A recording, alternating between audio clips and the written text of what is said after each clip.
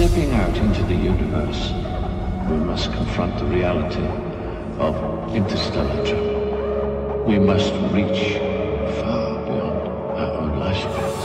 We must think not as individuals, but as species.